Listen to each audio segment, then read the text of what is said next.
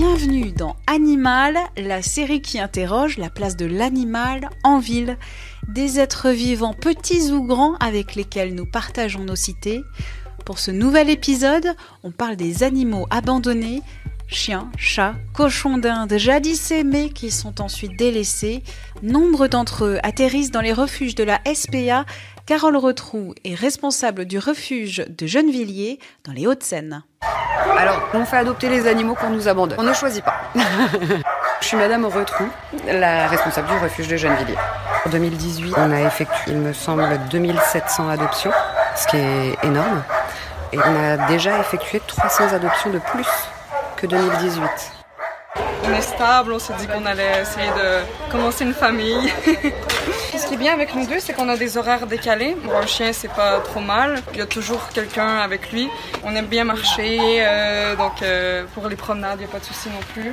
Bien sûr que pour moi, l'animal euh, a sa place en ville à partir du moment où on a bien compris les besoins de l'animal. On y répond bien. Un jeune chien va avoir besoin de dépenses physiques et qu'on est prêt à aller prendre sa voiture, aller au bois de Boulogne, au bois de Vincennes, il n'y a pas de souci. Sur euh, l'animal qui n'aurait pas sa place en ville, j'irais plutôt sur les primitives. Les skis, les loups tchèques, euh, loups de Sarlos, enfin, vraiment ces chiens-là qui sont moins faciles déjà parce qu'un tempérament vraiment plus euh, indépendant.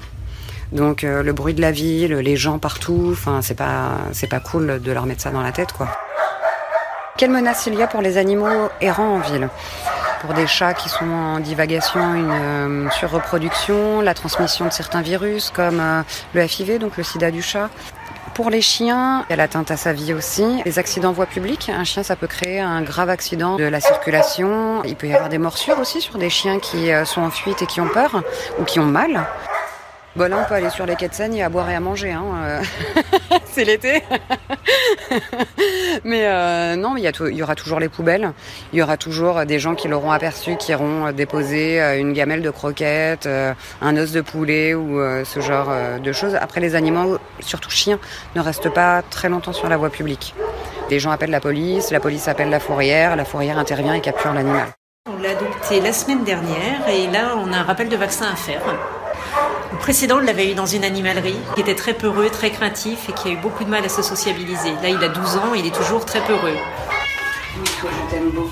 C'est tellement mignon. On a une petite anecdote là de, personnes qui ont adopté, enfin qui ont acheté, pardon, en animalerie. Euh, donc on a rappelé l'animalerie en disant c'est quand même euh, le deuxième chien en deux jours. Et le vendeur hein, nous a répondu peu importe qui vient, tant qu'ils ont l'argent, ils peuvent acheter.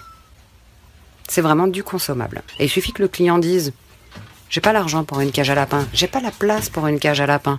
Le vendeur il va dire ok, j'ai plus petit. Il n'y aurait pas d'animalerie, il n'y aurait pas d'éleveurs, de, mauvais éleveurs s'il n'y avait pas de demande. Les gens veulent, un produit, on leur fournit. Et puis bah, si le produit est défectueux, bah, on l'échange.